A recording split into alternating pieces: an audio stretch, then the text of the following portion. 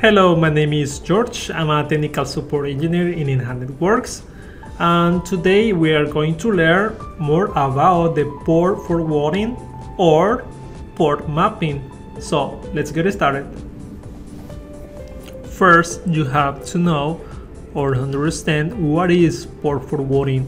Port forwarding also referred to as a port mapping is a method of forwarding a network port from one network node to another one.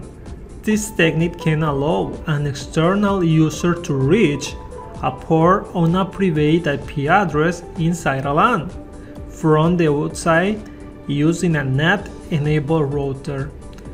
So that means port forwarding is a method used for allow um, computer to access to the port on a private network's computer.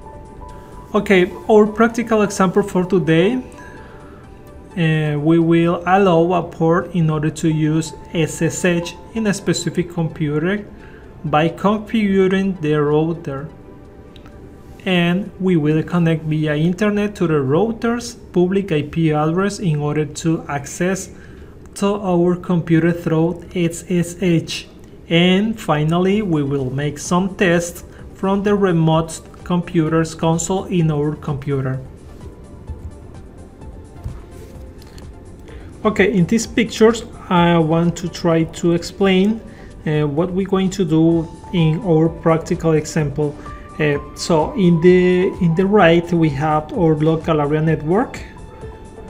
Uh, we have one network device. We have our in router 915L that is connected via Wi-Fi to the local laptop. And our router is connected to the 4G cellular network to the internet.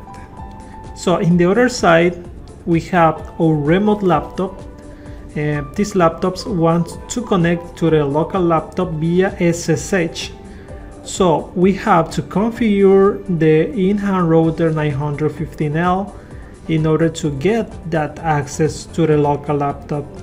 Okay, I'm going to explain uh, the practical example on the next video. Please uh, watch the next video. And if you have any question, please contact me or write your comments in the comment box. And thank you for watching this video.